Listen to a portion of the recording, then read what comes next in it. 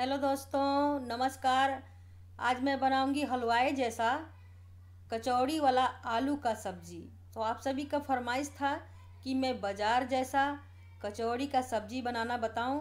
तो आज मैं लेके आई हूँ और ये बहुत ही झटपट बनेगा और ये बहुत फास्ट बनने वाला रेसिपी है और बिना मेहनत का आपको ये कचौड़ी वाला आलू का सब्ज़ी आप घर पे बना सकते हैं, वो भी मिनटों में।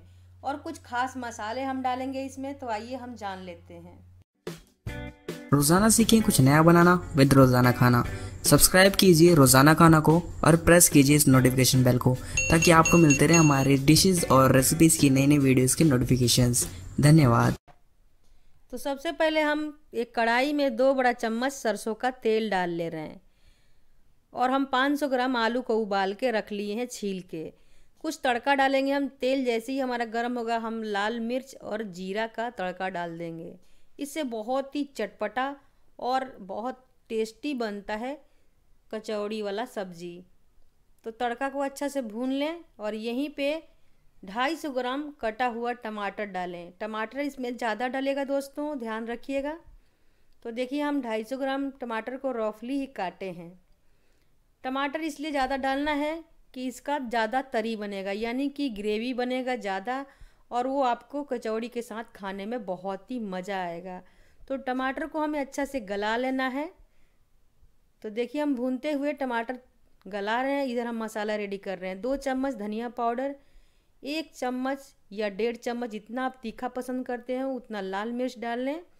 और यहीं पे एक छोटा चम्मच देख रहे हैं आप, हल्दी डाल रही हूँ मैं। और ये गरम मसाला है। आधा छोटा चम्मच गरम मसाला। इन्हीं मसालों में हम बाज़ार जैसा कचौड़ी का सब्ज़ी घर पे बनाएँगे। तो देखिए, ये मैं हलवाई से सीखी हूँ और आप भी ज़रूर इस तरीके से बनाएँ। टमाटर हमारा यहाँ पे गल चुका है तो हम मसालों को डाल लेंगे। और कुछ मसाले इसके लिए ख़ास है, जो कि मैं एंड में डालूँगी। सब्ज़ी पकने के बाद तो देखिए, मसाला को और टमाटर को अच्छा से भून लें। इसमें से तेल ऊपर आ जाना चाहिए, जैसे कि आपको वीडियो में नज़र आ रहा। चलाते हुए इसे पाँच से सात मिनट तक आप टमाटर को बिल्कुल गला लें। तो आपको नज़र आ रहा होगा कि ये जो टमाटर है, बिल्कुल गल चुका है। और यही चाहिए हमें कचौड़ी वाला सब्ज़ी बनाने के लिए।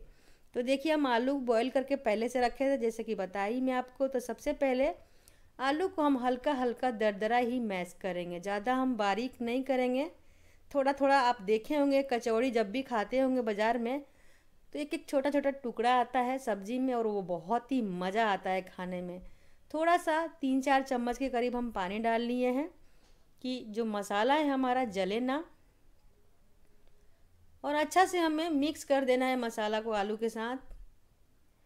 और यहीं पे स्वाद अनुसार नमक डालें। मैं यहाँ पे डेढ़ चम्मच नमक डाली हूँ। आप चाहें तो स्वाद अनुसार डालें। तो देखिए, यहाँ पे हम ढक्कन से ढक के लो फ्लेम पे पाँच मिनट के लिए छोड़ेंगे। चलाते हुए छोड़ेंगे कि हमारा जो आलू है वो भी भून जाए, उसमें सौंधापन आ जाए आलू में भी। तो ध्यान रखिएगा, जब आप पाँच मिनट के लिए भून रहे हैं तो इसे लो फ्लेम पे ही भूने आलू को, क्योंकि मसाला आपका ऑलरेडी भून चुका है। और वहीं पे आपको जितना ग्रेवी रखना हो, यानी कि रस्सेदार जितना बनाना हो, उतना बनाइएगा। वैसे आलू ठंडा होने के बाद में रस्सा कम हो जाता है तो थोड़ा सा कोशिश करें कि आप शुरू में ही थोड़ा ज़्यादा पानी ऐड कीजिएगा।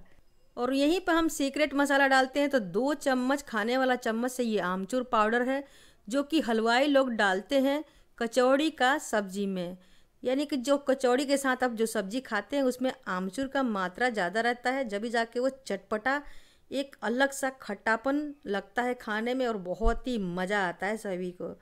तो अब हम ढक्कन से ढक के इसे पाँच मिनट तक मीडियम फ्लेम पे पकाते हैं और इधर ये देखिए हम भुना हुआ जीरा ले लिए हैं। ऐसे हम दरदरा कूट ले रहे हैं। आप चाहें तो बारीक भी कूट के डाल सकते हैं। मैं इसे यहाँ पर दरदरा कूट रही हूँ क्योंकि हम खलबट्टे में कूट रहे हैं।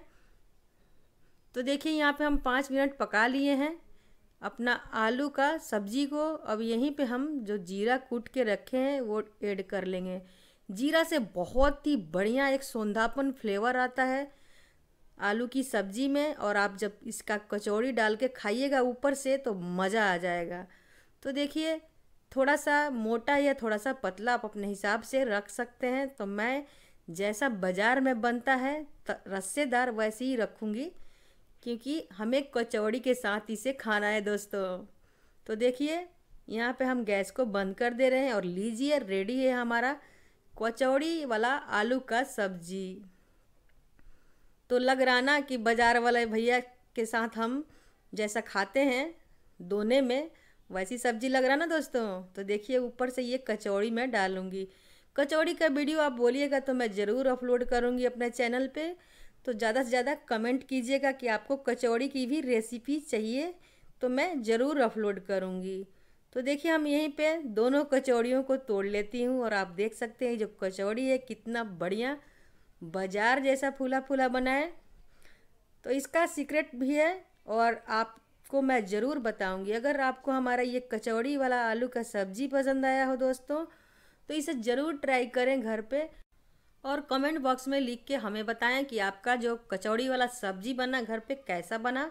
अगर आपको हमारी ये रेसिपी अच्छा लगा हो तो लाइक कर दें और अपने फैमिली, फ्रेंड जिन्हें कचौड़ी वाला सब्ज़ी खाना पसंद हो, उन्हें ज़रूर शेयर करें। तो हम मिलते हैं एक नए रेसिपी में। जब तक के लिए हमारे चैनल रोज़ाना खाना से जुड़े रहें दोस्तों। Bye bye.